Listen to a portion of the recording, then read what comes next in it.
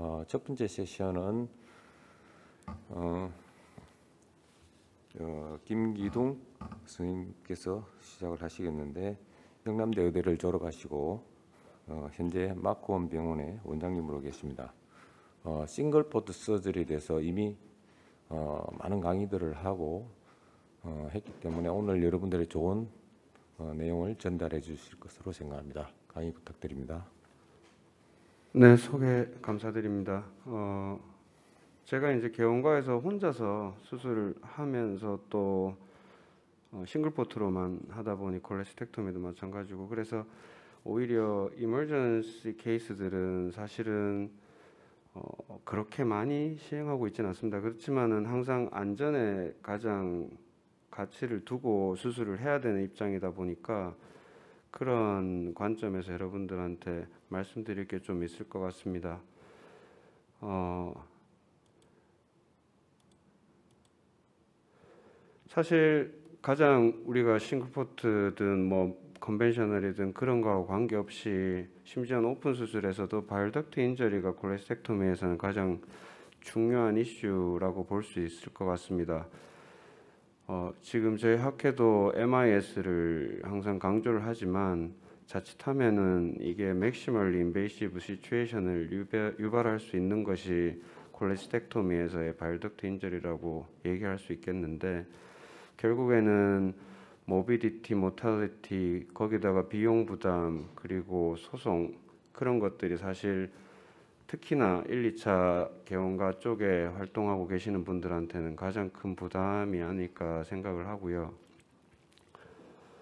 결국에는 가장 중요한 것은 환자분들의 life expectancy 자체가 줄어들 수 있는 injury라는 겁니다. 어떤 식으로 극복을 해내더라도 어, 실제로 그 mortality가 어, bile duct injury를 경험한 군과 경험하지 않은 군에서의 차이가 어, 1년에 거의 3% 정도씩 차이가 나는 걸로 그래서 매년 그 간극이 벌어지는 것으로 알려져 있고요. 물론 뭐 환자분의 나이나 코모비티가 많을수록 그리고 그럴수록 해저드 레이쇼가 올라가는 것은 사실이긴 하지만 사실 우리가 집중할 부분은 서전 자체 서전이 가지고 있는 경험치가 높을수록 hazard는 떨어질 수 있다라는 사실입니다. 그래서 어 어쨌든 follow period에 어 hazard ratio가 11% 이상 높다라는 것을 우리가 기억을 꼭 해야 될 것 같고 어, 한 가지 조금 간과하지 않았으면 하는 것은 그 bile duct injury repair를 손상을 입힌 사람이 직접 했을 때에 사실은 이런 11% 이상 더 증가하는 해저드 레이쇼를 보인다는 것은 우리가 한번 그 수술하고 있는 상황에 대해서 한번 생각을 해봐야 될 것 같습니다. 많이 당황하기도 할 거고 어떤 인식의 어떤 수술 장면에 대한 아니면은 그 환자분 상태에 대한 인식에서의 어떤 문제 아니면은 수술장 안에서 그 판단을 잘못했던 그 사고를 가지고 있는 상태에서 repair를 시도했을 때 오히려 어 장기적으로 봤을 때는 환자분에게는 해가 될 수 있기 때문에 이런 부분은 한번 생각을 해봐야 될 거라고 생각합니다. 어, 이런 bile duct injury의 원인으로는 당연히 surgical technique도 생각을 해봐야겠지만은 우리가 보통 뭐 anatomical variation을 많이 얘기합니다. 특히 biliary 쪽은 굉장히 다양한 variation이 존재하고 있기 때문에 한번 생각을 해봐야 되고 사실 inflammation이나 adhesion이 가장 흔한 원인이란 것 또한 주목해야 됩니다. 결국 acute infection일 때 이런 부분들이 늘어나기 때문에 어, 유념을 해야 되는 부분이고요. 결국에는 이러한 인플라메이션이나 어드이전이 심한 케이스일수록 어, 우리가 어, 착각을 일으키고 미스인터프리테이션을 할 가능성이 높아진다는 것이죠. 어, 우리가 사람이 어떤 상황을 인지하고 인식을 할 때 그리고 거기에 대한 반응을 할 때 사고 모델에 대해서는 많이 알려져 있지만은 어, 사람의 사고를 갖다가 그 다음에 어떤 결정을 하게 되는 과정에서 뭐 거의 잠재의식부터 시작을 해서 배경 지식 그리고 거기에 마지막에 이제 영향을 미치는 것이 어, 가지고 있는 실제 그 상황에 대한 여러 가지 종합적인 사고, 지식, 배경 지식 이런 게 되겠습니다. 그렇지만은 아무리 많은 배경 지식과 어떤 걸 가지고 있다고 하더라도 결국에는 어, 인풋 메모리 그러니까 그 당시에 어- 어떤 상황을 받아들이는 그 즉각적인 반응하고 그리고 long-term memory 그러니까 자기가 이때까지 경험했던 것들이 순간순간 수술하는 순간순간 판단에 영향을 미치게 되고 어, 그 중에서 우리가 주목할 것은 perception 부분에서 visual밖에 사실은 의지할 곳이 없는 것이 복강경 환경이라는 것이죠. 평상시 같으면은 우리가 듣는 것과 그 다음에 촉각 이런 것들이 물론 뭐 복강경 할 때 아시겠지만 로봇 서저리가 아닌 다음에는 햅틱 센스가 있기는 하지만 손으로 직접 만지는 것과 기구를 통해서 간접적으로 전달되는 것은 다르다는 것이죠. 그래서 비주얼 센세이션이 가장 중요할 것 같고요. 그래서 결국에는 뭐 우리가 준비할 수 있는 것 중에 한 가지 좀 강조하고 싶은 것은 어 여기 뭐 여러 복강경 기구 회사들 많이 참석하셨겠지만 가능한 한 좋은 퀄리티의 어 복강경 장비를 사용하는 것도 뭐 당연한 얘기겠지만 굉장히 중요한 요소라고 강조하고 싶습니다. 어, 처음 20세기 초반에 복강경이 이제 막 활발해지기 시작할 때쯤에 인시던스는 빌리어리 인저리의 인시던스를 항상 오픈하고 복강경을 비교하는 데이터가 많았죠. 그래서 open에 비해서 복강경이 어, 많이 높다. 뭐 두 배에서 다섯 배까지 차이가 난다라는 얘기들이 있었는데 최근 들어서는 2020년도에 WSES 가이드라인이 발표된 것이 있는데 사실은 어, 복강경 당시의 bile duct injury frequency 자체는 굉장히 급격하게 떨어지고 있습니다. 지금은 떨어지고 있는 와중이라는 것이고 하지만 한 가지 조금 어, 강조하고 있는 게 전체적인 frequency는 떨어지지만 간혹가다 일어나는 그 bile duct injury의 severity는 자꾸 증가하고 있다. 그래서 평균적으로 어, 어, 바- minor한 injury들은 확실히 줄고 있는 건 맞는데 여러 가지 기술적인 거라든지 어떤 경험의 축적에 의해서 공유에 의해서 줄고는 있지만 한번 생기면은 굉장히 severe한 것들이 생길 가능성이 높다라는 걸 강조하고 있고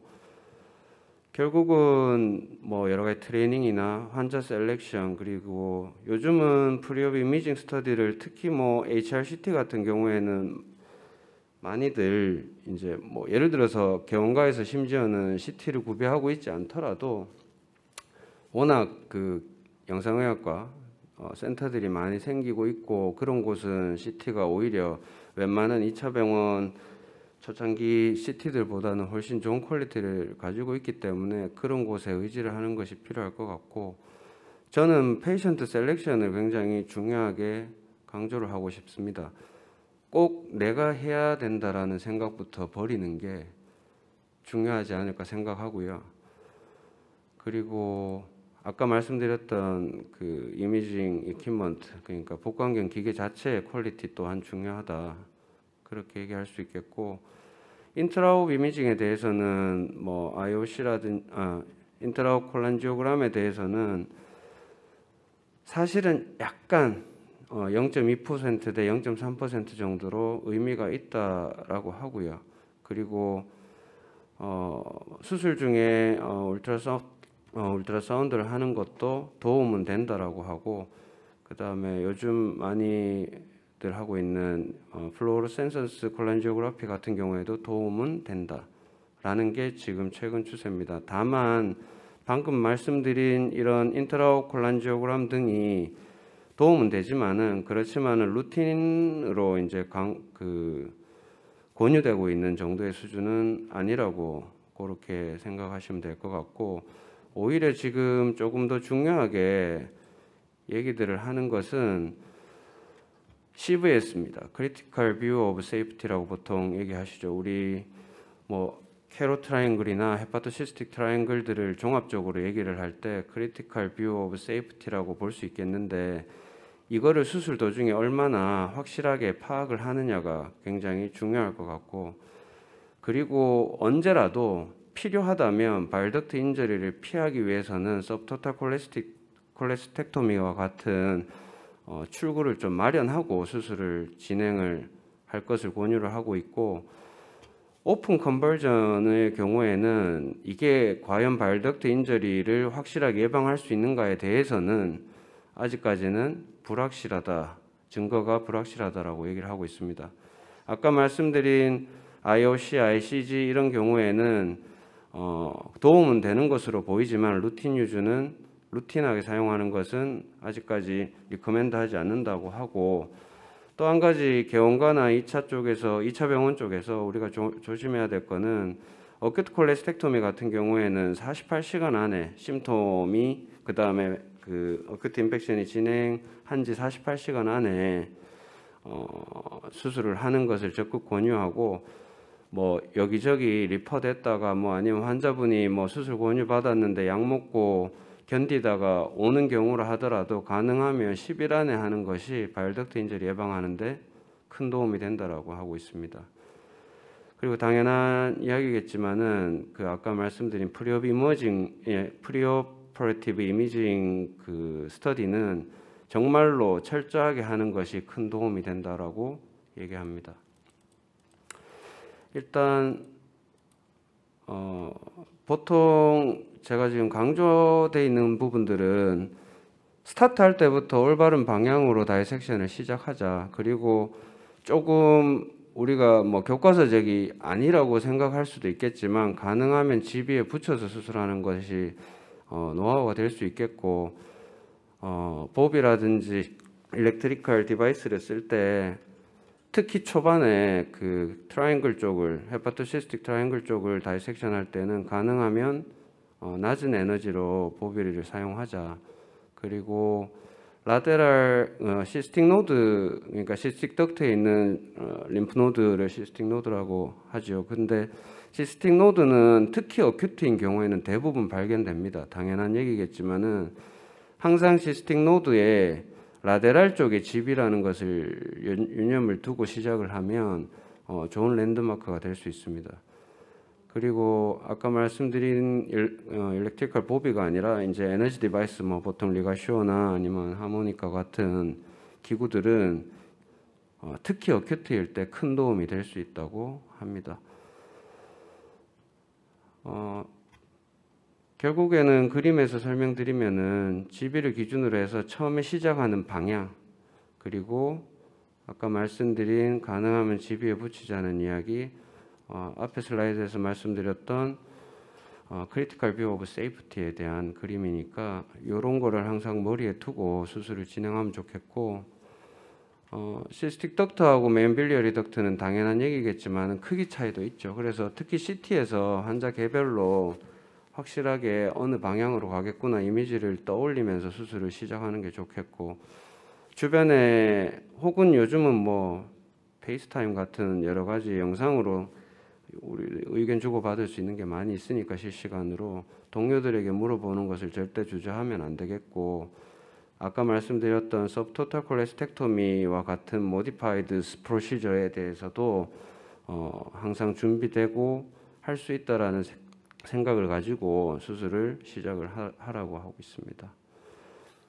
영상은 제가 좀 심플한 cholecystectomy부터 잠깐 보여드리면 일단은 어, cystic artery clipping을 했던 경우입니다. 뭐 할 때도 있고 요즘은 제가 LigaSure를 특히 어, critical view of safety를 어, 확보하기 전까지는 LigaSure를 많이 쓰는데 이 케이스는 그냥 Bovie로만 이제 dissection 하다가 가끔 dissection에 LigaSure 쓰다가 좀 artery 아시다시피 acute infection일 때 뭐 부종이나 intima 부종이나 이런 것들 때문에 그 아테리가 좀 많이 두꺼워 보이고 이럴 때 예전에는 불안해서 클리핑을 일일이 하던 어, 슬라이드인데요.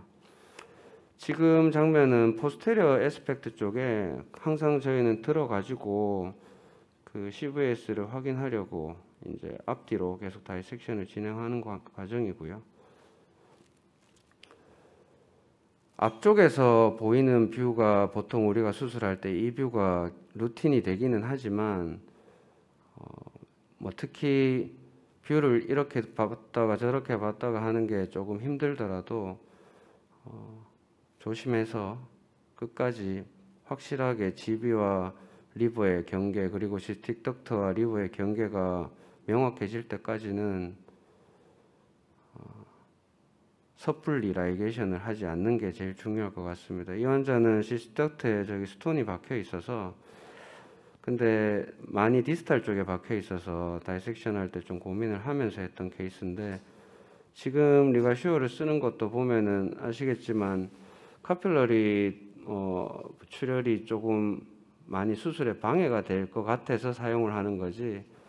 지금 보시면은 결국에는 아까 artery anterior cystic artery ligation 했던 게 cystic duct ligation 할 때 조금 방해가 되고 사실 저런 식으로 clipping들이 됐을 때 장기적으로 환자한테 어떤 영향이 있을지 조금 고민이 되는 부분이기는 합니다. 근데 어쨌든 지금 이쪽 proximal 쪽에 ligation이 안 되는 상황에서 상황이라서 duct에 있던 stone은 먼저 꺼내고요.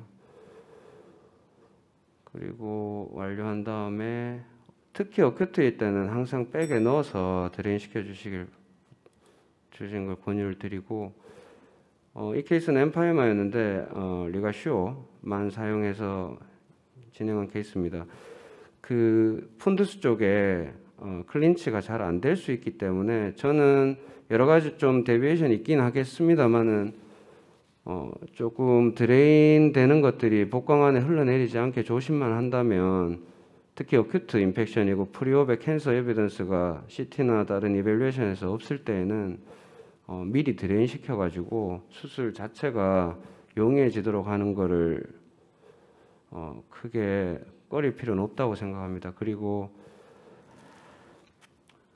이 케이스 같은 경우에는 아까 말씀드린 CVS 확보하는 데 있어서 조금 어려웠던 케이스일 수 있습니다. 왜냐하면 지금도 기본적으로 blunt dissection 했을 때 구조물이 세 개가 보이기 때문에 앞뒤로 보면 어느 게 cystic duct고 어느 게 artery인지 어느 게 lymphatic인지 혹은 CBD는 아닌지 계속 고민을 하면서 진행해야 되는 케이스였습니다.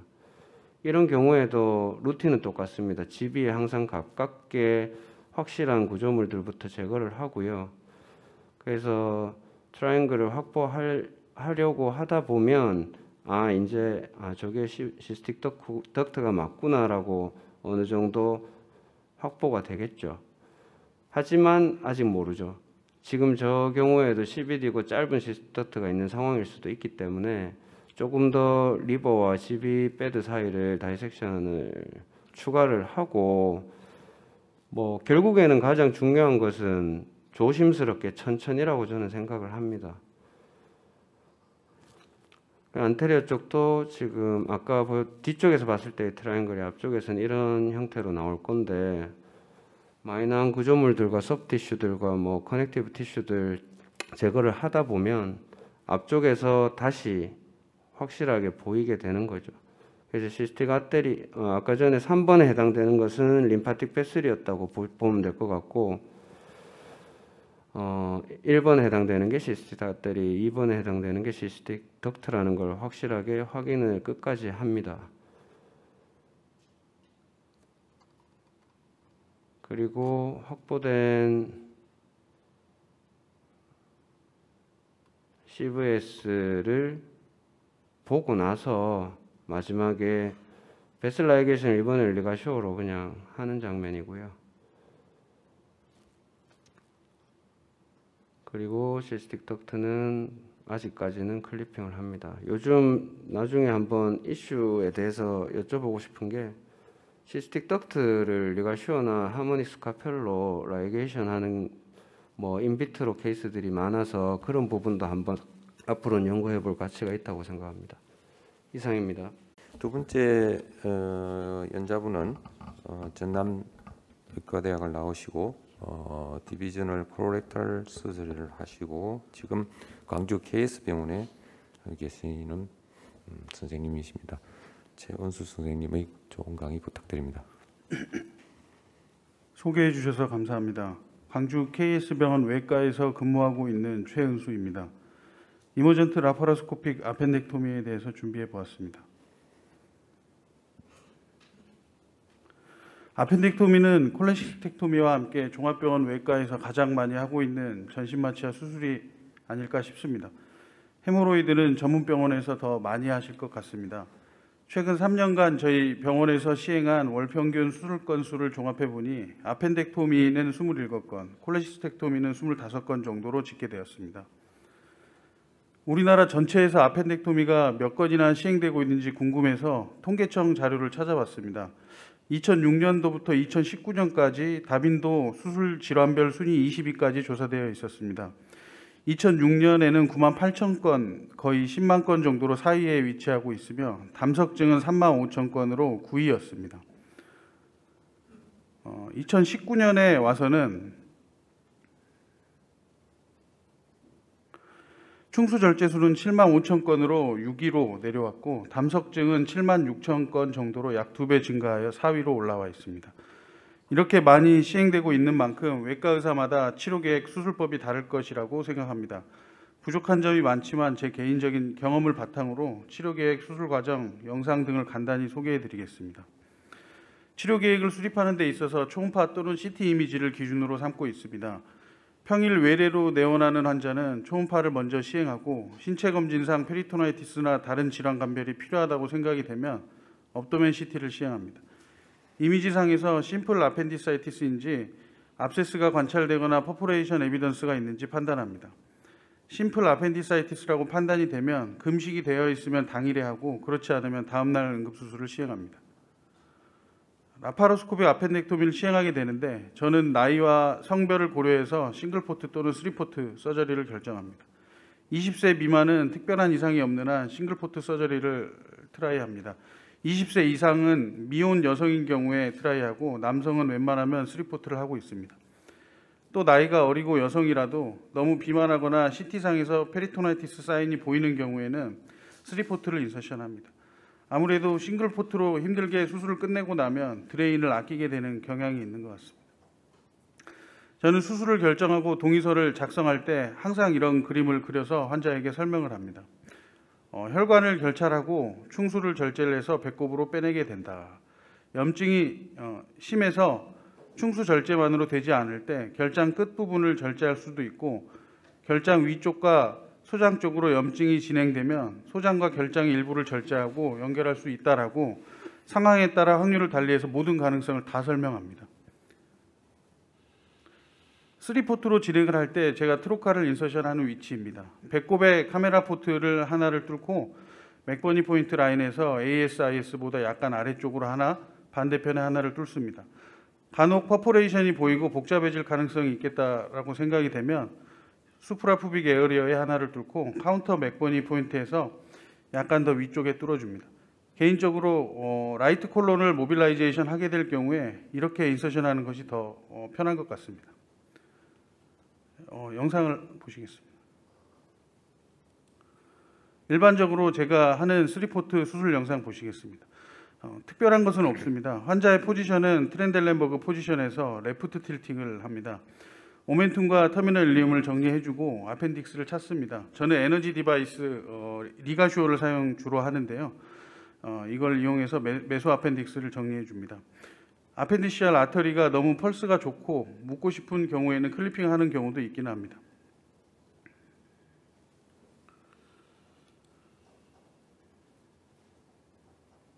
appendix base를 정리할 때 너무 깨끗이 정리를 하고 ligation 하고 싶은 욕심에 어, 간혹 이렇게 bleeding이 발생합니다. 다른 영상으로 보여드릴까 하다가 이 부분을 간혹 조심하셔야 한다는 걸 보여드리려고 가지고 왔습니다. 어, 정리가 끝나면 ligation 하기 전에 저는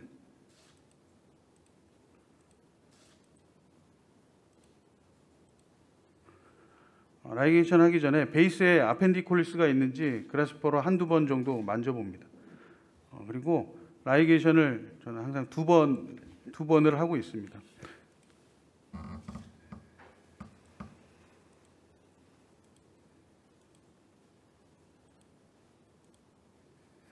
이후에 drain을 cul-de-sac에 넣고 수술을 종료합니다. single port surgery 시에는 배꼽 정중앙에 2.5cm 사이즈의 skin incision을 합니다. 이후 Kelly로 배꼽 제일 아래쪽을 가볍게 잡고 들어 올려서 Alli, Allis로 고정시키고 incision을 합니다. 배꼽이 올라오지 않는 경우도 있는데 그때는 retractor로 배꼽 양쪽을 벌리고 incision을 합니다. 제가 사용하는 port를 소개드리겠습니다. 월- 원래는 글러브에 어, 12mm trocar 1개, 5mm trocar 2개를 각 손가락에 넣고 고무줄로 묶어서 wound retractor에 걸어서 사용을 했었는데 어, 약 한 2년 전부터는 이런 multiport를 사용하고 있습니다. appendectomy 시의 글러브 trocar와 multiport trocar의 차이점이 저는 크게 두 가지가 있다고 생각합니다. 첫 번째는 글러브는 복벽보다 저항이 약해서 복강 내에 충분히 가스가 들어가지 않고 어느 정도 이상이 되면 글러브가 부풀거나 터진다는 것입니다. 두 번째는 글러브 trocar는 trocar가 고정되어 있지 않기 때문에 장갑 장갑 손가락에서 달랑거립니다. 그래서 굉장히 불편한데요. loop ligation 시에 trocar를 같이 잡아서 고정을 하고 조작을 해야 돼서 상당한 스트레스가 있었습니다. 물론 제가 내공이 좀 부족해서 그랬을 겁니다. single port 영상 보시겠습니다. 카메라가 먼저 들어가고 저는 이제 오른손으로 어, grasper가 들어가서 omentum 어, small bowel terminal ileum을 정리를 하고 appendix 위치를 파악합니다.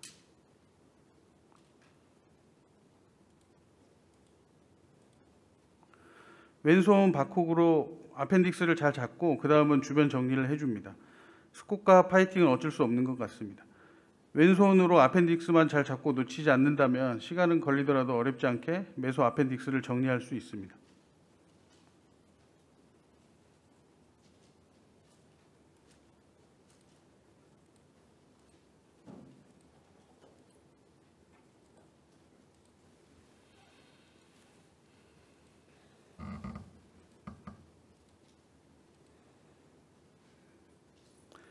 loop ligation 시에 어, 약간의 여기서 애로사항이 발생합니다. wound, 렉터, wound retractor를 통해 들어가게 돼서 Endoloop의 body의 강성이 abdominal wall muscle보다 약하기 때문에 휘어집니다. 그래서 Endoloop body가 휘어져 버려서 어, 원하는 방향 그리고 각도로 조작이 생각처럼 잘 안 됩니다. 인내심을 갖고 천천히 해야겠습니다.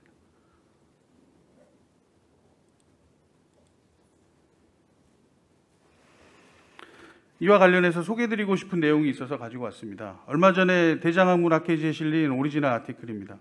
서울 원자력병원 선생님들께서 publish 해주셨습니다. laparoscopic appendectomy 시에 loop ligation 하는 것과 locking polymeric clip, 흔히 제품명으로 Hem-o-lok이라고 부릅니다. Hem-o-lok으로 ligation 했을 때 clinical outcome에 대해서 스터디 해 주셨습니다. appendiceal stump closure 시에 188명에서 Hem-o-lok을 이용했고 144명에서 loop ligation을 했습니다. 두 환자군의 성별, 나이, comorbidity, severity의 차이는 없었습니다. Hem-o-lok을 이용한 경우가 complication rate가 더 낮고 수술 시간이 짧았으며 hospital stay도 짧았다고 합니다. 근데 Hem-o-lok에도 한계점은 있었습니다. maximum internal length가 13mm이므로 appendix diameter가 12mm 이하인 경우에만 시도할 수가 있습니다. 또 appendix stump에 additional suturing을 하게 되면 기술적으로 더 어렵습니다. 마지막으로 tissue inflammation이 심하거나 appendi, appendicolith가 있는 곳에 clipping을 하게 되면 crushing damage가 발생할 수 있다는 것입니다. 그러면 저는 이 논문을 보고 저도 single port appendectomy 시에 base에 appendicolith가 없고 inflammation이 심하지 않다면 loop ligation을 대신해서 Hem-o-lok ligation을 시도해 보려고 생각 중입니다. 조금 더 복잡한 appendicitis의 경우에 대해서 보시겠습니다. localized peritonitis나 abscess formation이 보일 경우에 onset이 길지 않으면 저는 바로 응급 수술을 결정하고 onset이 일주일 이상이며 interval appendectomy를 목표로 안티바이오틱스 IV와 컨저버티브 트리트먼트를 결정합니다. 당연히 이런 판단이 항상 맞지는 않습니다. onset이 얼마 안 되었다 하더라도 막상 들어가 보면 도저히 ileocecectomy 또는 그 이상 하지 않으면 안 될 때가 가끔 있습니다. 또 interval appendectomy를 목표로 antibiotics treatment를 시작했는데 증상 호전 없이 악화되어 뒤늦게 수술을 들어가는 경우도 있었습니다. 확실한 것은 이렇게 decision을 하고 나서부터는 ileocecectomy 비중이 많이 줄었다는 것입니다. 어, omentum과 terminal ileum을 먼저 정리를 해줍니다. 하지만 peritonitis로 인해서 adhesion되어 쉽지가 않습니다. 아펜딕스의 베이스가 보입니다. 베이스는 깨끗한 모습으로 저곳을 잡고 다이섹션 할 수가 있었습니다. 베이스가 괜찮기 때문에 어떻게든 다이섹션만 되면 묶을 수 있겠다는 생각으로 했습니다.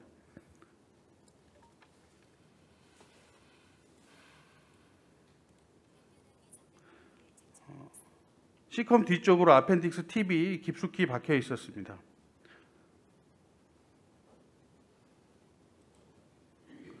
appendix body를 잡고 appendix를 따라서 천천히 dissection하면 박리할 수가 있습니다.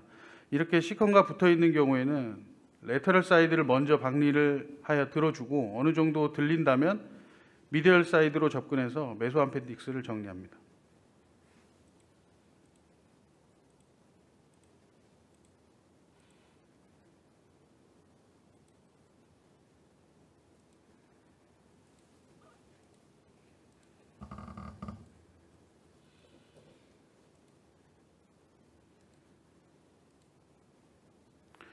appendix base는 깨끗한 상태로 loop ligation하고 drain을 insertion 했습니다. 이때 꼭 저 appendix가 있었던 공간에 어, drai- 어, abscess가 생기지 않도록 drain을 넣어주려고 하는데 생각 이제 뜻대로 잘 유지가 되지는 않는 것 같습니다. 항상 이번 케이스도 perforated appendicitis입니다. terminal ileum이 peritoneum에 adhesion된 것을 떼주면서 appendix를 향해서 가게 됩니다. 어, 이번에는 base inflammation이 어, 좀 있었던 케이스였습니다. cecectomy를 처음부터 염두에 두고 mesoappendix와 fat tissue를 dissection을 하였습니다.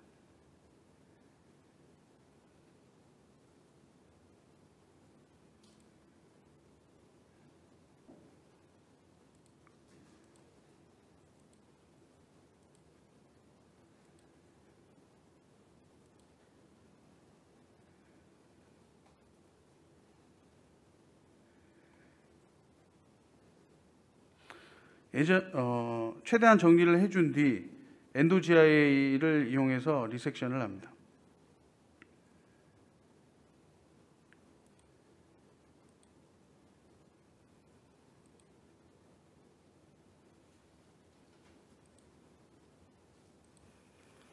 예전에는 staple line에 reinforce suture를 했었는데 inflammation으로 단단해진 조직이 끊어지거나 bleeding이 자주 발생했습니다. 이렇게 suction으로 한번 살살 눌러보고 staple line이 터지지 않고 유지가 되면 어, fibrin glue를 뿌리고 마무리를 합니다. 이 과정에서 staple line에서 line이 샌다거나 하면 어, ileocecectomy를 시행합니다. 다음은 perforation 되어 localized peritonitis와 abscess가 있는 onset이 일주일 이상 된 케이스를 준비해 봤습니다. 2주 전 발생한 복통을 주소로 내원한 63세 여성 환자였습니다. terminal ileum edema와 swelling이 심하게 있고 어, abscess가 보이고 있었습니다. 어, antibiotics treatment를 시작하고 열흘 뒤에 CT를 follow했습니다. wall off된 모습이고 terminal ileum은 좀 더 부드러운 모습이었습니다. lab은 이상도 없- lab이 이상 없고 증상은 없었으며 어, PO med로 변경 후에 퇴원하였습니다. 그리고 8주 뒤에 CT follow up을 했더니 appendix만 깨끗하게 보여서 어, 정규 수술 계획하였습니다. 이 환자 영상 보시겠습니다. 인터벌 아펜덱토미 시에 복강내에 들어가 보면 대부분 이렇게 잘 박리가 되는 캡슐에 의한 어데이전이라서 진행이 어렵지가 않습니다. 살살 쓸어 내려주면 어, 박리가 잘 되는 편입니다.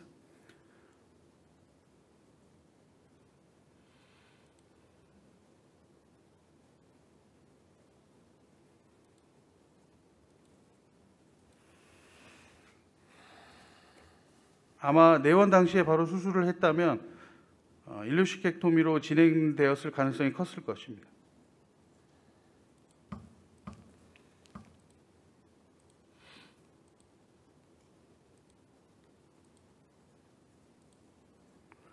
제목과는 다른 결말이지만 저는 어, 인터벌 아펜덱토미를 하게 되면 항상 식객토미를 하고 있습니다.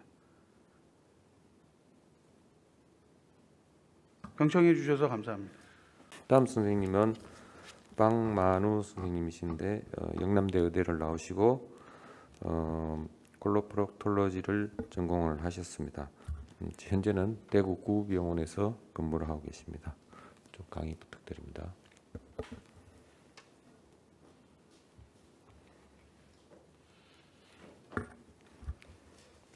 안녕하십니까 구병원 외과 박만호입니다. 어, 제가 오늘 발표할 내용은 emergency laparoscopic hernia surgery입니다. 어, 먼저 emergency hernia surgery 그리고 incarcerated hernia의 치료 알고리즘 그리고 어, la- laparoscope OP의 장점 그리고 이머전시 허니아 서저리의 인터내셔널 가이드라인 트렌드 그리고 각 그룹에서의 어, emergency inguinal hernia surgery 저희 병원 케이스 결론 순으로 보시겠습니다. 어, 매년 시행되는 인, 어, inguinal hernia surgery 중에서 5에서 15%에서 incarceration 그리고 strangulation으로 어, emergency 어, 시행하고 있습니다. 어, incarcerated hernia의 치료 알고리즘 보시면 먼저 incarcerated hernia로 진단된 경우에는 어, strangulation sign이 있는지를 봐야 되겠고 어, 스트랭귤레이션 사인에는 스킨의 칼레 체인지, 히트니스, 페인 그리고 어, 증상이 24시간 이상 지속된 경우 peritonitis symptom이 있으며 어, 이런 strangulation sign이 없는 경우에는 어, 적극적으로 manual reduction을 시행해서 어, manual reduction이 성공한 경우에는 입원해 있는 기간 동안 또는 30일 이내에 elective OP를 시행해 주라고 하고 있습니다. 어, manual reduction이 실패한 경우나 어, strangulation sign이 있는 경우에는 어, 이머전시 오피를 시행해야 되겠습니다. 어, manual reduction은 70% 정도의 환자에서 효과가 있으며 strangulation sign이 있는 경우에는 어, contraindication이 되겠습니다. 어, manual reduction을 시행할 때는 analgesia와 그리고 sedation 목적으로 IV morphine 그리고 IV 미다졸람을 인젝 후에 reduction을 시행하게 되겠고요. 어, 약효가 나타나는데 5에서 10분 정도 소요될 수 있기 때문에 이 점을 감안해서 리덕션을 시행해야 되겠습니다. Trendelenburg position에서 reduction이 더 잘 된다고 하며 어, direct로 누르는 경우에는 mushroom effect, mushroom effect 때문에 reduction이 잘 안 될 수가 있어서 hernia의 neck을 elongation 시켜서 compression 하는 게 reduction이 더 잘 되겠습니다. 어, emergency inguinal hernia surgery에 대한 international 가이드라인 보시겠습니다. 어, 이머전시 허니아 서저리에 대한 옵티멀한 서지컬 어프로치에 대한 에비던스는 없으며 각 케이스에 따라서 어, tailor된 그런 OP 방법을 선택해야 되겠습니다. contaminated surgical field에서는 어, mesh를 사용하지 말라고 되어 있고 꼭 사용해야 되는 경우라면 risk와의 benefit을 어, 꼭 어, 고려해서 사용해야 되겠습니다. 어, 다음으로는 emergency inguinal hernia surgery의 트렌드 보시겠습니다. 어, 2010년부터 2019년까지 어, 독일, 스위스, 오스트리아의 737개 병원에서 어, 13,000명의 환자를 대상으로 조사 연구한 자료입니다. 어, 이머전시 허니아 서저리에서의 허니아 타입 보시면 indirect가 40.6%로 가장 많았고 어, 다음으로 direct가 30, 23.8% 그리고 femoral hernia가 16.1%였습니다. OP 방법 보시면 TAPP가 점점 증가되어서 2019년에 38%로 가장 많이 시행되었고 어, 그 다음으로는 오픈 방법인 Lichtenstein OP가 35.5% 그리고 TEP가 11.1% 시행되었습니다. 이머전시 OP에서 어, 바울리 섹션은 8.8% 보고되고 있습니다.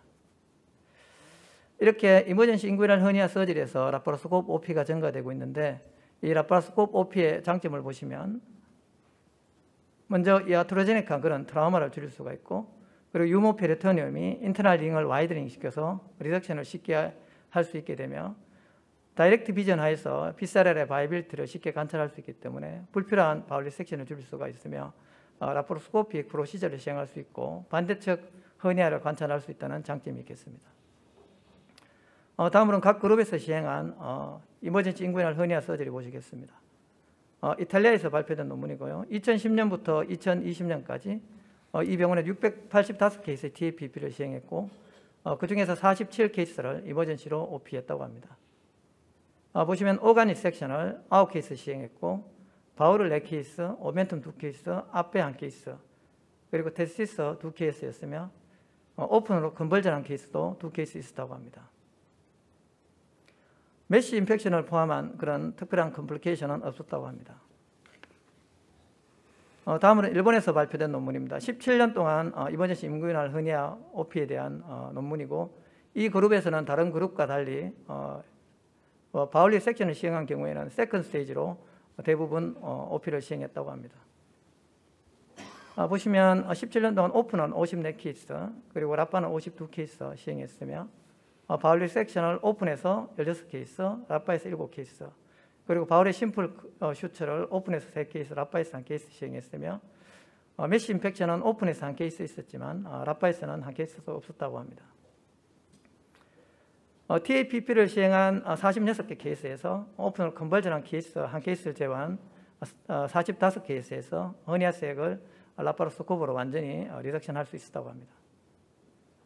어, mesh repair 시기를 보시면 first stage로 mesh repair 시행한 케이스가 어, TAPP bowel resection 시행한 케이스에서 한 케이스 있었고 그리고 second stage로 mesh repair 시행한 케이스가 TAPP에서 bowel resection한 케이스 다섯 케이스 포함해서 일곱 케이스에서 second stage로 어, mesh repair를 시행했고 어, post-op의 mesh infection 등의 어, complication은 없었다고 합니다. 어, 저희 병원 케이스 보시겠습니다. 저희 병원 2010년부터 2021년까지 어, 2,800케이스 hernia OP 했고 어, 제가 그 중에서 lapa로 700케이스 hernia OP 시행했습니다. 어, 제가 lapa로 emergency OP를 어, 어, hernia OP를 한 700케이스 했지만 emergency로 laparoscopy OP한 케이스는 찾아보니 한 케이스도 사실은 없었습니다. 제가 10년 동안 시행한 이머전시 오피는 5케이스였고요. 그 중에서는 90대 이상 디스미아는 환자도 있었고 해서 저는 간단하게 오픈으로 Lichtenstein OP 시행했고 bowel resection한 케이스는 없었습니다. 저희 병원 전체에서는 이머전시 오피가 23케이스였고 남자가 10명, 여자가 13명이었고 오픈 22케이스 그리고 lapa가 저희 병원 원장님께서 하셨던 케이스 한 케이스 있습니다. 어, indirect가 9케이스, direct가 2케이스 그리고 femoral hernia가 11케이스로 가장 많았고 obturator hernia가 한 케이스 있었습니다. 어, 마취 후에 바로 reduction 된 케이스가 5케이스로 21.7%였고 어, bowel resection 시행한 케이스 5케이스 있었는데 아마 오픈 케이스가 조금 많았던 게 원인 중에 하나일 것 같습니다. 어, 먼저 manual reduction 후에 elective OP 시행한 케이스입니다. 57세 남자 환자분이시고 하루 동안 abdomen pain으로 내원하셨습니다. 어, WBC 만천이었고 CT상에 보시면 어, incarceration 된 hernia 소견 보이고 있고 pethidine inject 후에 어, manual reduction 성공해서 일주일 후에 elective OP 시행했습니다. 어, 다음으로 마취 후에 reduction 된 케이스입니다. 66세 남자 환자분이시고 2시간 동안 abdomen pain으로 내원하셨습니다. 어, WBC 15,000이고 CT에 보시면 라지 허니아 세역에 small bowel이 incarceration 된 소견 보이고 있습니다. 어, 환자분 pethidine을 세 번이나 주고 1시간 이상 reduction 시도했지만 fail해서 어, emergency OP 들어갔습니다. OP 필드 보시면 어, 마취하고 나서 바로 어, reduction 된 소견 볼 수 있습니다. 다음으로는 OP 중에 reduction한 케이스입니다. 66세 남자 환자분이시고 하루 동안 abdomen pain으로 내원하셨습니다. 어, WBC 12,000이고 CRP는 normal이었습니다. 어, CCT에서 보시면 어, hernia sac 안에 ischemic change 있는 small bowel 있고 어, bowel edema 있는 소견 있습니다. 어, 제가 시행했던 케이스고 오픈으로 Lichtenstein OP 시행했고 보시면 hernia sac 아래쪽에 이렇게 ischemic change 있는 small bowel이 있고 어, serosa intact해서 reduction하고 mesh 대고 OP 끝났으며 환자분 다음 날 특별한 소견 없이 퇴원하셨습니다.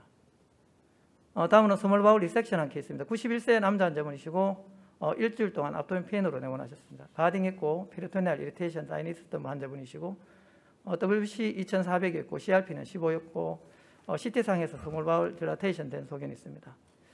환자분 어, small bowel perforation 가능성이 있어서 low midline으로 skin incision 넣어서 OP를 했고 보시면 small bowel의 perforation 관찰돼서 small bowel resection anastomosis 시행하고 old age고 general condition poor해서 internal ring suture ligation하고 OP 끝났으며 환자분 특이 소견 없이 퇴원하셨습니다. 어, 다음으로 아빠 케이스입니다. 82세 여자 환자분이시고 어, 일주일 동안 nausea vomiting으로 입원하셨습니다. 어, dementia 있고 hemodialysis 돌리시는 분이시고 WBC 14,000, CRP 15였고 non-enhance CT상에서 small bowel 어, 소견이 있습니다. 어, 보시면 femoral ring으로 이렇게 small bowel herniation된 소견이 있고 어, grasper로 위쪽 bowel을 잡아당겨서 지금 traction 하고 있습니다. 보시면 어, distal 쪽에 necro, small bowel 벌써 necrosis 된 소견이 있고 보통 어, femoral hernia 같은 경우는 reduction이 잘 안 될 수 있기 때문에 어, hook bovie 같은 걸로 이제 medial side에 incision을 좀 넣어서 reduction하면 조금 더 용이하게 reduction을 할 수 있겠습니다. 지금 아래쪽 bowel을 당기고 바깥쪽에서 허니아색을 컴프레션하면서 리덕션해서 제가 완전히 어, reduction이 되었습니다. 아, 보시면 small bowel이 완전히 necrosis 되어 있고 다시 grasper로 잡아서 어, bowel 상태를 다시 한 번더 어, 확인하고 있습니다. 어, 완전히 necrosi, necrosis 되어서 이제 resection하고 anastomosis를 시행해야 되겠습니다. 어, 보시면 뒤쪽 어, 허니아 색에서 어, 보시면 이렇게 dirty한 fluid가 나오는 양상 보이고 있고 환자분은 low midline에 small skin incision 넣어서 어, small bowel 끄집어내어서 resection하고 어, anastomosis 시행했고 보시면 다시 안쪽으로 집어넣고 지금 saline으로 irrigation 해주고 있습니다. 환자분은 mesh는 대지 않았고 어, femoral ring에 suture ligation 시행하고 어, peritoneum 닫고 어, OP 끝난 케이스고 현재까지 재발 없이 어, 지- 잘 지내고 있는 환자분이십니다. 어, 결론입니다. 어, emergency에서 laparoscopic 어, hernia surgery는 direct vision으로 어, viscera의 viability를 쉽게 관찰할 수 있어서 어, 불필요한 bowel resection을 줄일 수가 있고 그리고 어, iatrogenic한 그런 트라우마를 줄일 수 있기 때문에 어, 이머전시 인구널 허니아 서저리에서 라파로스코프 OP 특히 어, TAPP는 안전하게 그리고 가장 효과적으로 시행할 수 있는 수술 방법이라고 할 수 있겠습니다. 어, 특히 contaminated dirty surgical field에서는 우선 응급으로 어, internal ring을 suture ligation해주고 후에 second stage로 어, mesh repair하는 것을 고려해봐야 되겠습니다. 이상입니다. 다음 연자는 안영재 쌤입니다. 세브란스 병원에서 수련하셨고 강남 세브란스에서 임상 교수를 하셨습니다. 현재 2013년부터 안동병원에서 근무하고 계십니다. 발표하실 내용은 펩시글사 퍼포레이션에 대한 laparoscopic surgery 부탁드립니다. 네, 안녕하세요. 안동병원의 안영재입니다. 예, 지난주에 저희 병원에 화단에 철쭉이 이쁘게 펴서 제가 예, 지난주에 한컷 네, 찍어봤습니다. 저는 오늘 그 peptic ulcer perforation에 대해서 여러분들께 말씀을 드리겠습니다. 세계적으로 peptic ulcer disease는 incidence는 한 1.5에서 3% 정도 되고요. 이 중에서 한 10%에서 20% 정도 환자분들이 뭐 bleeding, stricture 이런 perforation 같은 complication을 경험을 하게 되는데 그중 한 전체 환자의 한 2에서 14% 정도에서 포프레이션이 발생하는 것으로 되어 있습니다. mortality는 1.3%에서 한 20까지 그렇게 발표가 되고 있습니다. 어, 아까 앞선 연자분께서 아펜덱토미가 우리나라에서 한 7만 케이스에서 한 10만 케이스 정도 예, 이열리 이렇게 발생하는 것으로 발표를 하셨는데요. 어, 위 예, 저도 이게 통계를 한번 찾아봤더니 2017년부터 2020년까지 우리 병원에서 연간 한 2,000 케이스에서 한 2,200 케이스 정도 예, 위 또는 12장 천공 당순 분합술이 이렇게 시행이 되는 걸로 되어 있고 조금씩 증가하는 경향을 보이고 있습니다. 병원별로 보시면은 상급 종합병원 이제 3차 병원에서 한 600 케이스 정도, 예, 그리고 2차 병원에서 한 1,200 케이스 넘게 이렇게 두 배 이상 이렇게 지금 시행을 하고 있, 있는 것으로 보이고요. 우리 2차 병원의 역할이 예, 이런 걸로 보면 참 크다고 생각을 합니다. 저희 병원에서는 2019년도부터 제가 그냥 통계를 뽑아봤는데 한 달에 한 한 케이스 두 케이스 정도 그렇게 많이 시행을 하고 있지는 않은데 조금씩 예, 증가하는 경향을 보이고 있습니다. 어, perforation site는 이 pylorus 주변 그 특히 duodenum의 first portion이 약 90% 정도 발생을 하는 걸로 되어 있고요. stomach은 한 10% 정도. posterior wall에서는 거의 발생을 하지 않는 것으로 되어 있습니다. 포프레이션의 크기를 보면 duodenal ulcer perforation이 5mm 이하로 비교적 작은 편이고요. 예, duodenum perforation보다 훨씬 어, 조금 더 크기가 큰 경향이 있고 이 크기가 크면 클수록 cancer lesion과 좀 연관성이 높기 때문에 크기가 크다고 판 생각이 되시면 예, 추후에라도 cancer에 대한 workup은 꼭 예, 추가로 해보셔야 된다고 생각합니다. 여러 가지 논문들을 보시면 이 open surgery와 laparoscopic surgery를 비교를 했는데 뭐 전체적으로 크게 예, 뭐 다른 점은 없다고 이렇게 발표가 되고 있습니다. 근데 operation time을 보면 어 물론 거의 외국 논문이긴 한데 오- 수술 시간이 거의 같거나 아니면 조금 더 많이 걸린다 이런 발표가 있는데 제, 제, 제 개인적인 경험으로 봐서는 수술 시간이 오히려 더 적게 걸리는 것 같습니다. 정말 간단한 케이스는 뭐 30분 정도면 끝내는 경우도 있고 아무래도 이렇게 배를 열고 닫는데 시간을 좀 많이 소비를 해서 그런데 익숙한 분들이면 전 저희 제 경험으로 봐도 오히려 시간이 더 적게 걸리지 않을까 예, 그렇게 생각을 합니다. 뭐 다른 어, 복강 어, minimal invasive surgery의 장점은 물론 다 가지고 있고요. repair technique은 뭐 여러 가지 방법이 많습니다. primary repair부터 시작을 해서 여러 가지 omentum을 사용을 해서 뭐 flap이나 뭐 tagging이나 이게 plugging이나 여러 가지 방법을 하실 수 있고 정답은 없는 것 같습니다. 개인적인 선호나 보- 개인적인 그런 숙련도에 따라서 선택을 하시면 될것될 거라고 생각을 하고요. 제가 그 많이 쓰는 방법은 그냥 primary repair랑 omentopexy하게 같이 이렇게 한 번에 suture를 해서 하는 방법을 예, 많이 쓰고 있습니다. 제가 주로 이제 trocar insertion하는 site는 저도 이제 open을 생각을 해서 camera port는 그 umbilicus 직 상방에 vertical로 이렇게 하고 있고요. working port 5mm 두 개를 주로 쓰고 있습니다. 세 개를 사용하는 경우는 거의 없는 것 같습니다. 수술 예, 영상을 한번 보시겠습니다.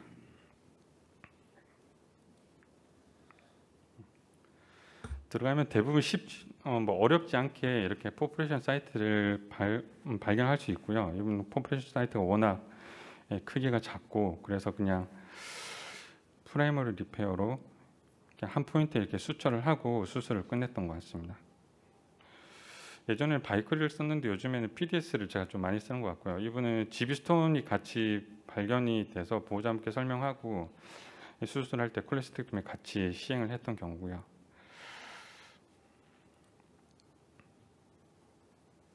음. 두 번째 케이스입니다. 이분도 들어가서 바로 이제 perforation site를 발견을 했고요. suction을 이게 잘 해보면은 구멍이 살짝 좀 더 이렇게 크게 보이는 예, 경우가 있습니다. 크기가 조금 크다고 생각해서 예, 제가 두 포인트 이렇게 primary repair를 예, 했던 케이스입니다.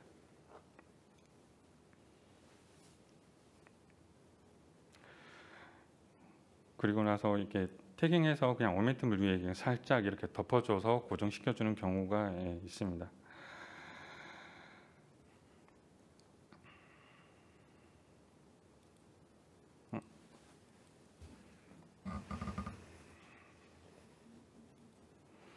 네, 세 번째 케이스입니다. 주로 들어가면 이렇게 bile staining 주변으로 돼 있는 경우도 예, 많이 보실 수 있고요. 근데 사이트 크기가 예, 약간 큰 편입니다.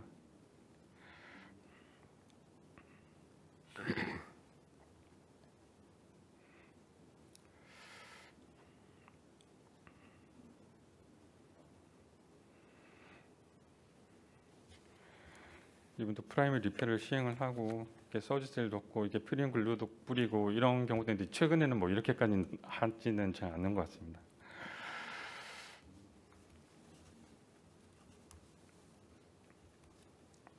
네. 이분도 duodenal ulcer perforation이고요. 아까 제가 설명드린 것처럼 omentum이랑 primary repair랑 예, 같이 한 번에 이렇게 하는 경우이고요. 나오면서 이렇게 omentum을 같이 뜨고 나서 예, tie를 할 때 같이 이렇게 하면은 타일도 풀리지 않고 또 omentopexy도 되고 해서 좀 심적으로 좀 수술하고 나서 좀 안정감이 좀 있는 것 같습니다.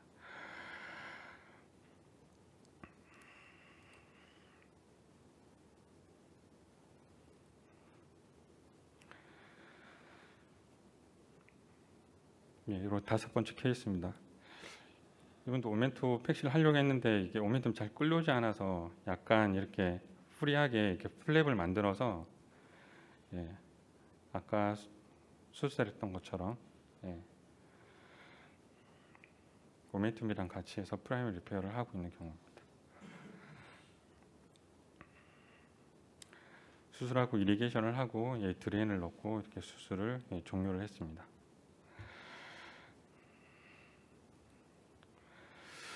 지금 보여드린 거는 제가 녹화를 거의 3년, 5년 전에 수술했던 영상이고요. 좀 최근 거를 보여드리려고 제가 이렇게 의뢰를 받고 좀 기다리는 와중에 계속 케이스가 없어서 마음을 졸였는데 지난주에 이제 환자 한 분이 와서 수술을 했던 케이스를 좀 보여드리겠습니다.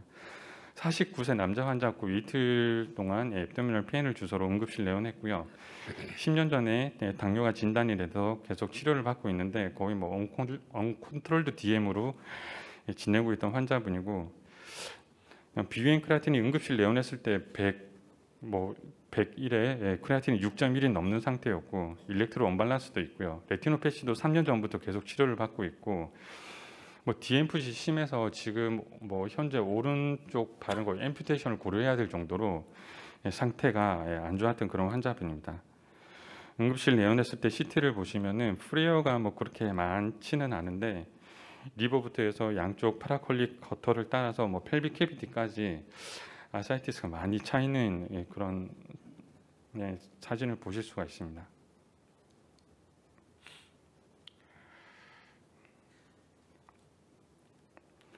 네, 수술 영상입니다. 들어가자마자 뭐 전체적으로 ascites가 많이 이렇게 보이고요. liver bed 주변으로 해서 예, bile staining이 된 영상을 보실 수 있습니다. suction을 이제 그냥 뭐 쉽게 할 수 있겠다라고 생각을 하고 했는데 fluid도 되게 좀 thick하고 이래서 irrigation 하는데도 약간 좀 힘들었고요. irrigation을 어느 정도 하니까 이렇게 food material이 많이 보였습니다. 처음에 이 영상을 보고서는 아 이건 오픈을 좀 해야 되지 않을까 예, 그렇게 많이 좀 생각을 했었고요. 예, 어느 정도 최대한 뭐 이- suction 할 거는 suction을 하고 이제 site를 봤더니 제가 예상했던 것보다는 이제 perforation site가 예, 그렇게 막 크지는 않았습니다. 그래서 최대한 제거할 거 제거하고 그 주위를 irrigation을 한 뒤에 일단은 그래도 뭐 laparoscopy를 할 수 있는 데까지 해보자 해서 예, 진행을 했습니다. 벌써 주변으로도 이게 wall이 좀 되게 약하고 염증도 심해 보여서 조심조심 예, 또 posterior를 뜨지 않도록 예, 그렇게 suture를 했고요. suture를 한 번 하고 나면 이게 시야가 좀 작아져서 우선은 한번 이렇게 suture를 할 때마다 metal clip으로 좀 고정을 시키면서 이렇게 수술을 했습니다.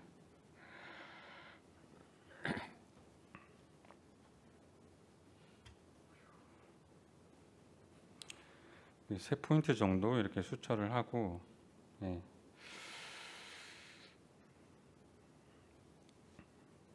타일을 예, 해서 예, 다 수처를 하고 진행을 했습니다.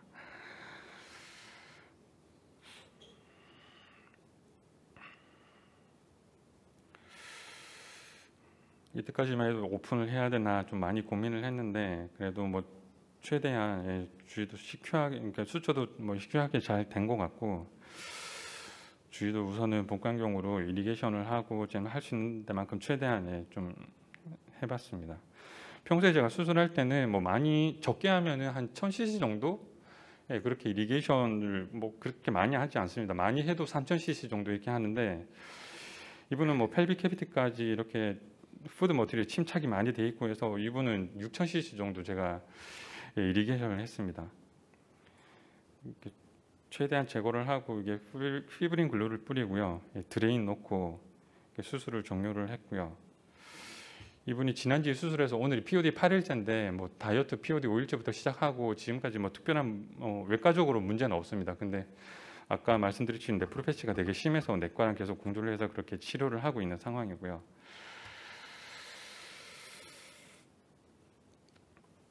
예, 보시면 뭐 펩티골서 포프레이션도 예, 충분히 이렇게 라파라스코피 서저리로 매니지먼트가 가능하다고 생각하고 초보자 분들도 아 내가 좀 서툴지만 라파라스코피 수처를 할 수 있을 정도라면은 옆에 이제 슈퍼바이저 선생님을 두시고 충분히 이렇게 해볼 수 있는 예, 수술이라고 생각을 합니다. 예, 슬라이드 두 장을 보여드릴 텐데요. 사실 제가 오늘 제일 예, 제 마음이 가는 슬라이드 두 장입니다. 예. 어, 저희 2차 병원 학회에서 위대장 내시경 아카데미를 예, 진행을 하고 있습니다. 최근 코로나 때문에 2, 3년 동안 이제 시행을 못했다가 이제 코로나가 이제 어느 정도 좀 종료가 돼서 저희가 이제 올 여름에 이제 다시 진행을 하려고 하고 있고요. 벌써 7차입니다. 그동안 진행이 되게 잘 되어 왔었는데 혹시 위대장 내시경을 꼭 배우고 싶다 하시는 분들은 주저하지 마시고 예, 꼭 연락을 해주셨으면 좋겠습니다. 또 이렇게 위대장 내시경 아카데미 말고 저희가 또 다른 멘토링 프로그램도 진행을 하고 있습니다. 저희가 뭐 수술을 비롯해서 내시경까지 외과의 뭐 모든 분야에 대해서 아 내가 좀 새로운 수술을 배우고 싶다. 아니면 내가 수술 실력을 좀더 예, 늘리고 싶다. 잘하시는 분들의 수술을 배우고 싶다 하시는 분들 또 내시경도 아 내가 하고 있는데 실력이 잘 늘지 않는다 하시는 분들은 언제든지 저희 학회에 연락을 주시면 저희들이 최대한 예, 그분들의 여러 가지 이렇게 사정을 맞춰와서 예, 테일러드 프로, 프로그램으로 저희가 최대한 도와드리도록 하겠습니다. 꼭 이, 사진 찍어 놓으시고요. 안 되면 나중에 저희 홈페이지에 오셔서도 예, 보실 수 있으니까 언제든지 연락 주시면 예, 감사하겠습니다. 예, 고맙습니다. 다음 연자를 소개하겠습니다.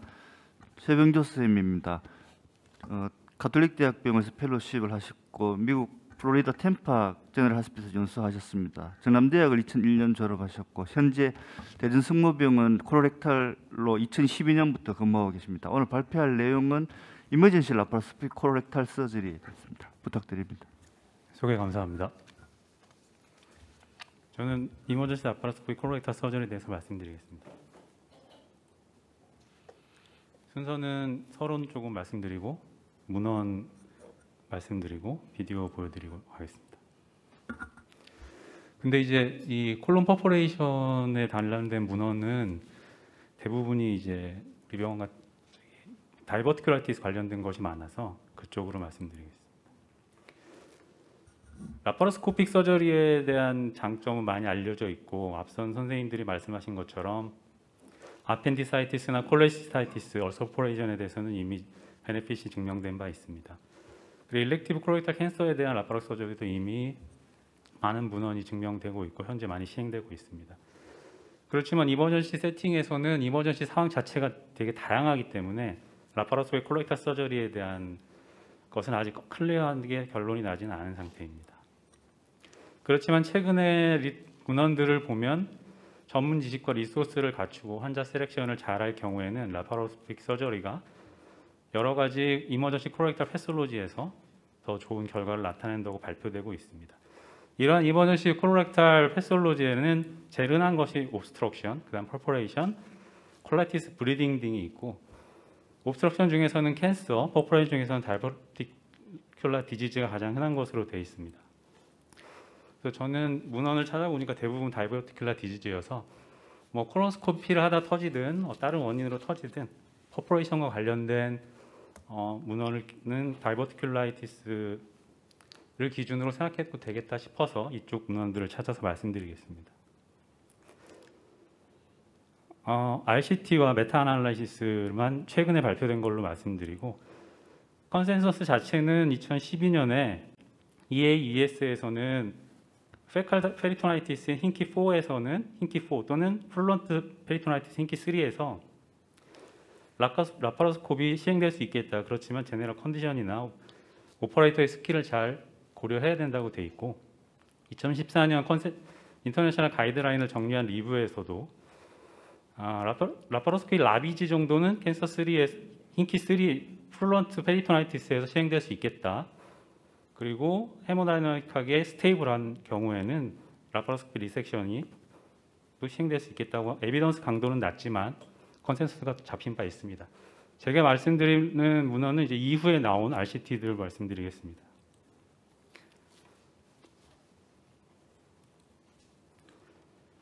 크게 이 랜덤한 컨트롤 트라이얼은 힌키 3, 즉그 피칼 페이토나티스가 아닌 경우에만 가능하기 때문에 크게 세 개 정도가 있었습니다.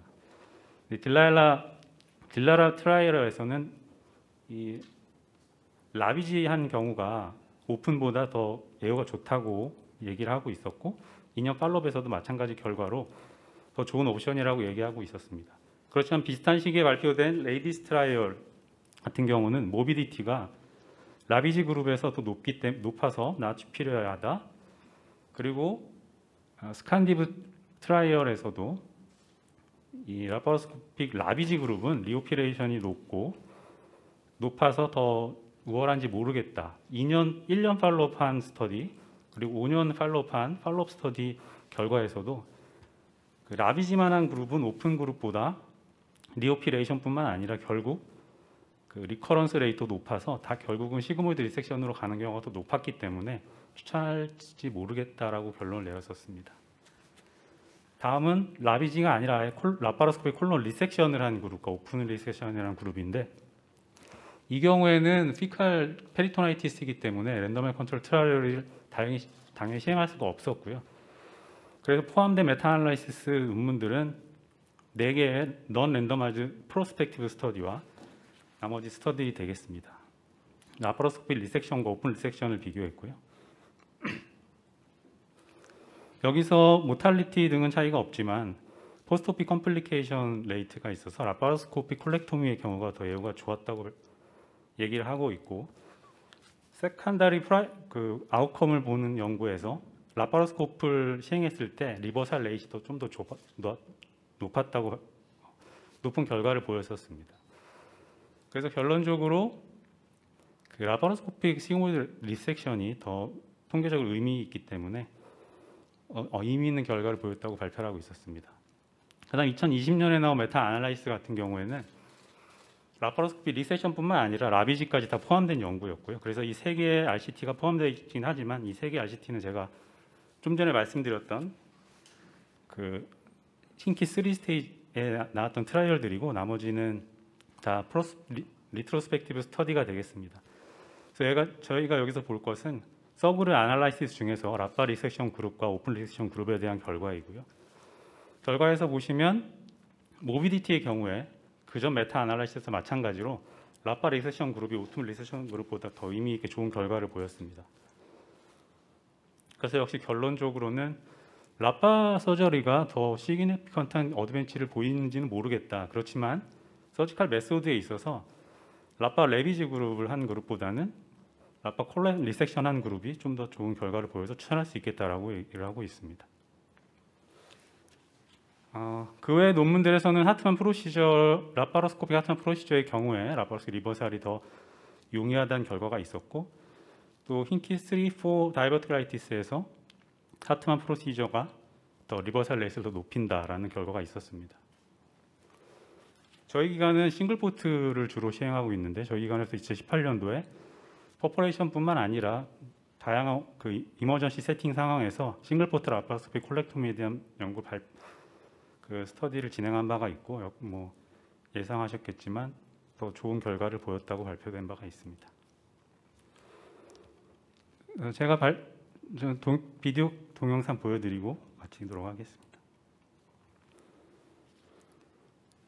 환자가 그 vital이 좀 안정되고 페리토나이티스가 피칼하게 있다고 하더라도 좀 이렇게 한쪽에 국한돼서 있을 경우에는 Hartmann procedure 자체가 distal proximal colon resection을 하고 그 segment만 제거하고 그 stoma를 빼면 되기 때문에 그렇게 어려운 procedure는 아니기 때문에 시행하고 있고 저는 이제 spillage를 최소화하기 위해서 거즈를 좀 많이 사용하는 편입니다.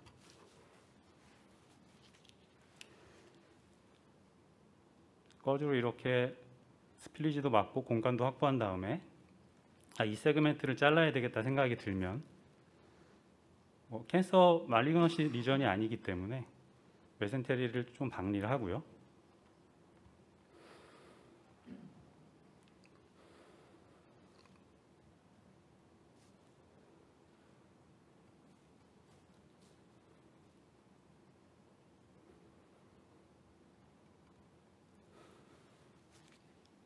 잘 아시는 것처럼 게- diverticulitis 경우에는 우리 우리나라는 right colon에 많지만 right colon diverticulitis는 medical disease 아니라는 얘기가 나올 정도로 perforation이나 complication이 거의 없습니다. 그래서 대부분 sigmoid colon이 터지기 때문에 이렇게 contamination도 이쪽에 국한된 경우가 많아서 한번 시행해 볼, 시행해 볼수 보는 경우가 많습니다.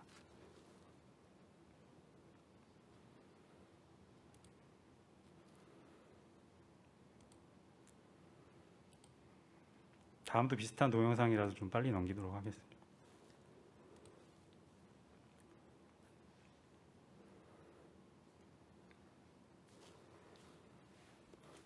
이분은 퍼포레이션으로 인한 mesocolon에도 그 contamination이 심- 심하기 때문에 되도록이면은 major vessel을 붙여서 자를 수밖에 없었습니다. 그래서 조금 mesocolon의 dissection 범위가 넓었습니다.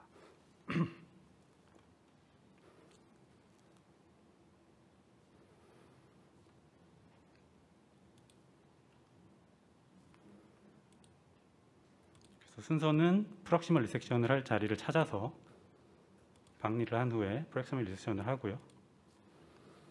쭉 mesocolon을 쳐 나가고요.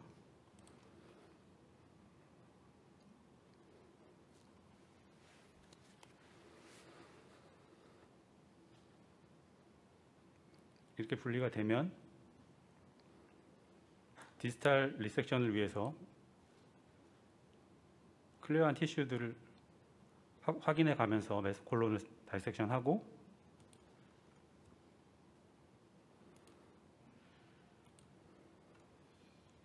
자르면 되겠습니다. 근데 현재는 중간에 똥이 좀 많이 새 있어서 그 lap bag에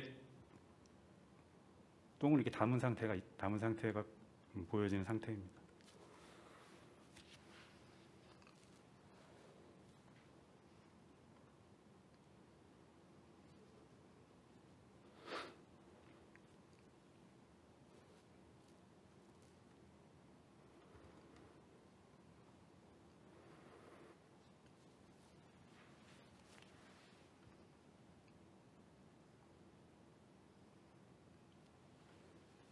저희는 single port이기 때문에 두 가지 방법이 있는데 이 환자 같은 경우는 배꼽으로 수술을 시행하고 RLQ로 end stoma를 뽑은 케이스가 되겠습니다.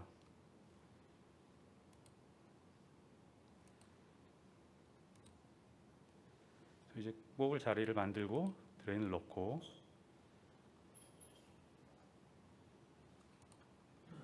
다음 케이스는 미리 stoma를 뽑을 자리에 RLQ area에 single port를 넣은 다음에 거기로 수술을 하고 그 자리로 end stoma를 뽑은 동영상이 되겠습니다. 이분은 아까보다는 피칼 컨타미네이션이 그렇게 심하지 않아서 수술 시간도 좀 비교적 짧게 걸렸고요. 원인은 이 perforation 된 부분에 똥이 꽉 막고 있었기 때문이 때문에 비교적 심하진 않았습니다. 역시 거즈를 많이 사용해서 시야도 확보하고 spillage도 막고요. proximal resection을 위해서 박리를 시행합니다.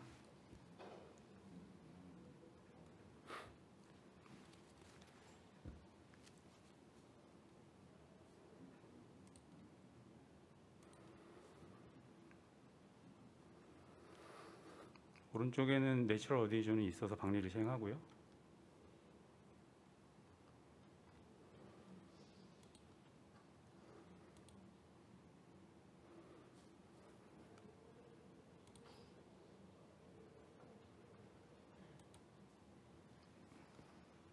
죄송합니다. 위- 죄송합니다.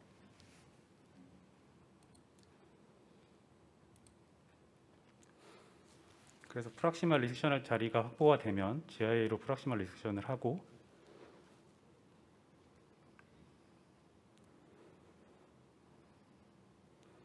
이 환자 같은 경우는 mesocolon이 너무 꼬여 있어서 distal resection을 그 다음에 시행하기 위해서 박리를 했고 도중에 이렇게 spillage가 있으면 계속 suction을 해서 contamination을 최소화합니다.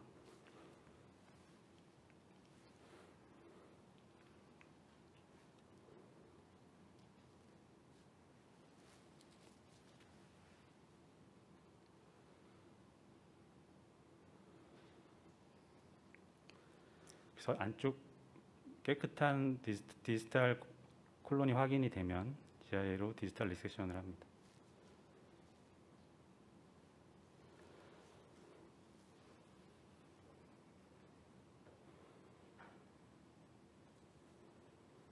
양쪽을 잘랐기 때문에 이제 mesente 깨끗한 mesentery를 쭉 쳐 나가서 affected colon을 제거하기만 하면 되겠습니다. 여기 계속 보여드리는 거는 잘못하면 이게 피가 날 수 있는데 피가 아무리 이렇게 짖어도 멈추지 않을 때가 있습니다. 이게 왜 그러냐면 스테이플 라인에 리가쇼가 물려서 그런데요. 일단 어느 정도만 지혈시킨 다음에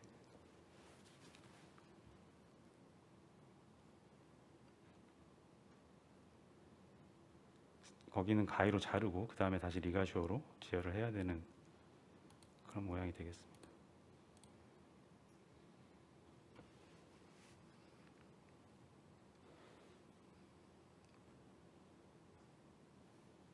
여기도 마찬가지 staple line 때문에 지져지지 않아서 자르고 나면 segment가 완전히 떨어지고 역시 lap bag을 통해서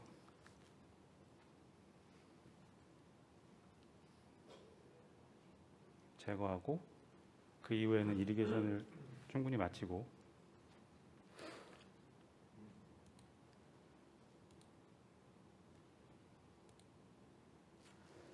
이 부분을 그대로 빼서 end stoma를 만들면 되겠습니다. 그 다음은 이번 전시 상황 아니지만 이 환자를 reversal한 수술을 동영상을 시간이 되면 잠깐 보여드리겠습니다. 그 end colostomy를 takedown해서 거기에다가 anvil를 넣고 집어넣은 다음에 수술을 시작했습니다. 좀 전에 보였던 환자의 reversal 수술이고요. 이렇게 이 정도의 adhesion만 있어서 이 stump dissection을 하고 있습니다. 아, 알겠습니다. 죄송합니다.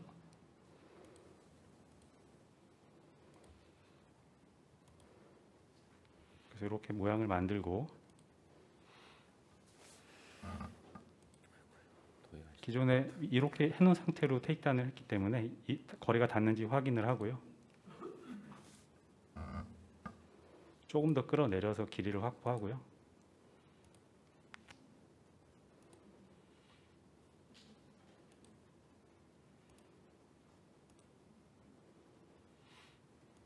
적당한 거리를 재서 distal resection을 하고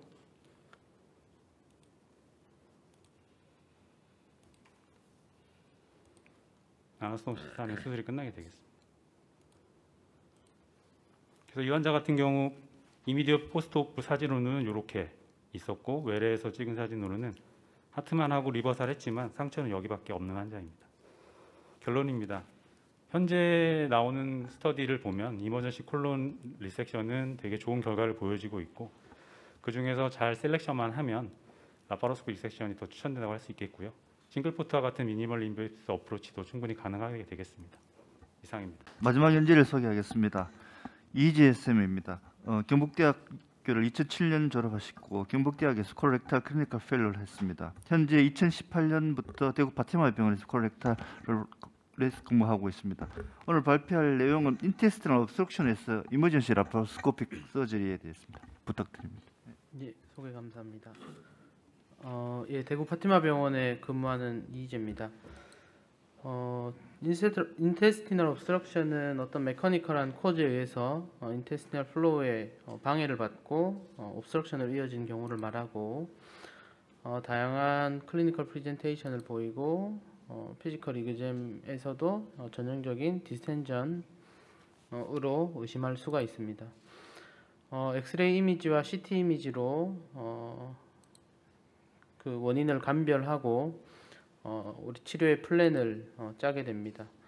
어, 문헌을 보면 75%의 환자에 있어서는 어, 수술하지 않고 conservative로 어, 치료할 수 있다고 돼 있고 25%의 환자는 결국 이제 어, 수술을 하게 되는데 수술하게 되는 이제 원인으로 이스케미아나 페리토나이티스, 업도미널 sepsis 같은 것들이 의심될 때 어, 수술이 필요하고 특히 CT상에서 closed obstruction을 보이는 경우에 어, 저 ischemia나 peritonitis로 진행될 위험이 매우 높다고 알려져 있습니다.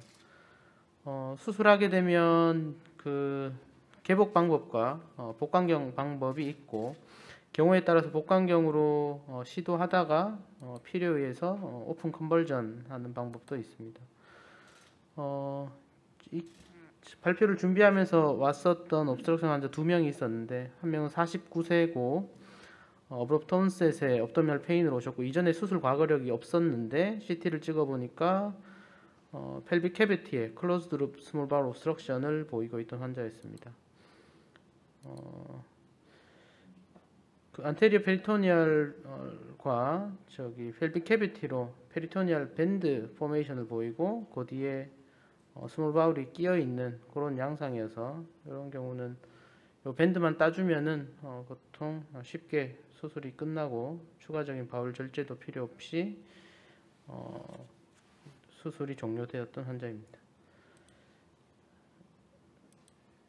음, 두 번째 케이스는 여자 77세고 어, 이전 50년 전에 어, appendicitis에 의한 어, peritonitis로 paramedian incision이 있던 환자였고 어, CT상의 어, RLQ area에 closed obstruction을 보이고 있던 환자였습니다. 어, 이 환자는 저기 수술 들어가 보니까 RUQ area에 어, 전반적으로 small bowel 전체가 심한 dilatation 보이고 있었으며 RUQ area short segment하게 어, bowel ischemia와 congestion이 의심되고 주변에 bloody ascites가 어, 동반된 양상이었고 어, inflammation 때문에 주변 omentum과도 adhesion이 어, 심하게 보이는 그런 양상이었습니다. bowel injury를 최소화하기 위해서 이제 거즈를 이용해서 traction 하면서 이전 수술 incision과 붙어 있던 어, omentum부터 먼저 lysis 해주고 어, 그 오멘툼과 T 콜론을 들어 올려서 어, right lateral side에 어, partial omentectomy를 하면서 수술 부위로 접근했습니다. 어, 조금씩 이렇게 접근하다 보면 어, 처음에 traction 했던 어, 이제 거즈가 보이고 그 congestion된 small bowel로 이제 점점 접근이 되고 있습니다. 뒤에 보이는 것이 이제 그 strangulation 의심되는 small bowel이고 이렇게 어 band formation을 하고 있는 omentum을 이제 따주고 나면 어 closed loop을 형성하고 있던 이제 small bowel이 small bowel을 이제 tracing 할 수 있게 되었습니다. 어, 추가적인 adhesion 없었지만 어, closed loop을 형성하고 있던 small bowel에 어, ischemia가 의심되는 부분이 어, 포칼하게 있어서 어, 배꼽 주변으로 mini laparotomy를 해서 small bowel resection을 하게 됐습니다. 어, 아나스토모시스 후에 다시 한번 들어가서 어, 오멘탈 밴드를 이루고 있던 어, 그 오멘텀에 대해서 조금 더 정리해주고 어, 이리게이션하고 이제 수술을 어, 마치게 된 경우이고요. 어, 나가기 전에 아나스토모시스가 괜찮은지 복강경으로 한 번 더 확인하고 예, 그렇게 수술을 종료했습니다. 어, 복강경 수술에 대한 benefit과 concern이 있는데 어, wound가 적고 어, 그러다 보니까 수술 후에 재발생할 수 있는 adhesion이나 아니면 환자가 느끼는 pain 그런 게 적을지 어, 회복이 빠를지에 대한 기대가 있고 하지만 수술 field가 충분히 exposure 될 수 있는지 어, 기술적으로 어렵지 않을지 시간이 오래 걸리고 수술 중에 iatrogenic bowel injury가 있지 않을지에 대한 어, 걱정이 있습니다. 어, 2018년에 나왔던 어, 그 small bowel obstruction에 대해서 open과 laparo를 비교했던 meta analysis 논문이고 어, 그 연구 목적에 포함됐던 만족하는 18개 어, 논문을 비교했는데 open과 laparo 그룹을 비교해 보니까 처음부터 조금 뭐 ASA 스코어에서부터 어, ASA, ASA 스코어가 오픈 그룹이 좀 더 높다든지 기본적인 어, characteristics가 조금 달랐습니다. small bowel을 절제해야 됐던 경우도 open이 좀 더 높았고 blood loss도 많았습니다. 어, 전체적인 morbidity 수술 후 morbidity와 어, 개별적인 complication도 open 그룹이 조금 더 높았고 bleeding과 reoperation mortality도 open 그룹이 높았습니다. 어, odds ratio로 봤을 때도 어, post-op morbidity가 어, 오픈 그룹이 높고 mortality도 높다고 어, 발표했고 어, hospital stay가 어, 복강경 그룹이 짧았고 수술 시간도 조금 더 짧았고 하지만 음식을 먹거나 bowel movement가 돌아오는 것은 이제 통계적으로 비교하기에는 차이가 없었다고 이렇게 결론 짓고 있었습니다.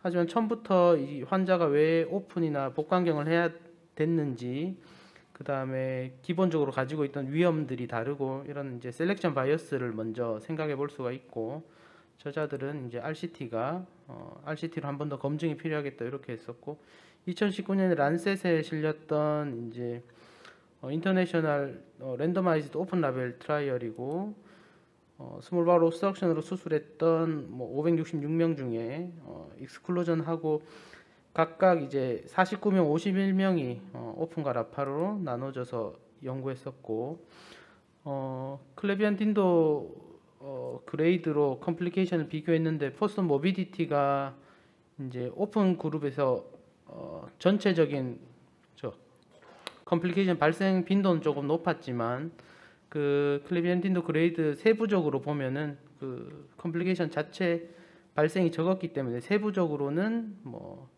어, 두군 간에 유의한 차이가 없었다. 이렇게 밝히고 있었고 어, 그 재원 기간은 어, 복강경에서 낮았고 바울 펑션 돌아오는 것도 빨랐고 하지만 먹는 어, 시기를 시작하게 되는 시기는 큰 차이가 없었습니다. 어, 개복군에서만 에피듀랄 카테터가 필요한 경우가 있었고 어, 병가를 사용했던 환자들을 보면 어, 복강경으로 수술했던 환자들은 12일, 어, 개복했던 환자들은 24일 정도의 어, 병가를 사용해서 유의한 차이가 있었고 어, visual analog scale로 봤을 때도 3, 4일째 어, 복강경군이 어, open군에 비해서 훨씬 더 어, 통증에 대해서 낮은 것으로 어, 그렇게 결론 짓고 있었습니다. 복강경 수술하다가 open conversion 하게 되는 주요 이유로는 어, dense adhesion이나 bowel의 viability를 어, 저기 확인할 수 없을 때 ischemia나 bowel injury가 있을 때 어, open conversion의 비율이 높았고 어, 복강경으로 접근하면서 제일 걱정스러운 건 이제 iatrogenic bowel injury가 될 수 있는데 그러면 복강경으로 진행하다가 injury를 입으면 open conversion 할 것이냐 어, injury 전에 open conversion 할 것이냐라는 이슈가 있고 어, 저자들은 복강경으로 진행하다 open conversion 하는 것이 복강경 수술의 실패라고 봐서는 안 되고 어, 다른 논문에서는 어, open으로 수술하고 bowel injury가 없는 것이 복강경으로 진행하다 bowel injury 어, 받는 것에 비해서 훨씬 낫다. 어, bowel injury는 없어야 된다고 어, 이야기하고 있었습니다. 그래서 그 small obstruction 환자들을 접근할 때 복강경으로 접근할 때 selection criteria가 좀 필요할 것 같고 strangulation이나 perforation의 위험이 적을 때 single이나 low number의 adhesion이 있을 때 어, distension이 severe하지 않을 때 이럴 때 복강경을 먼저 고려해야 되고 몇 가지 technical consideration을 이제 recommend하고 있었는데 어, 적정한 자세를 취하고 3 port를 쓰고 30도 scope을 쓰는데 어, 배꼽의 port는 어, obstruction에 있어서는 유용하지 않기 때문에 어, 첫 번째 port를 LUQ에 뚫고 triangle shape으로 접근하는 것이 좋겠다고 레, recommend하고 있었습니다. 통상적으로는 IC 밸브로부터 트라이즈 리가멘트를 향해서 어, tracing하면서 small bowel을 살피고 혹시 나중에 bowel ex- resection이 필요한 경우에는 trocar port를 어, extension 하- 해서 어, mini laparotomy로 어, conversion 할 수 있습니다. 어, 결론을 말씀드리면 어, small bowel obstruction 환자에 있어서 open에 비해서 laparoscopic adhesiolysis가 조금 더 빠른 회복을 어, 보이고 있었고 어, intestinal obstruction 환자에 있어서도 selected한 어, patient에 있어서 어, laparoscopic surgery가 first choice strategy로 어, 될 수 있을 것 같습니다. 예, 경청해 주셔서 감사합니다.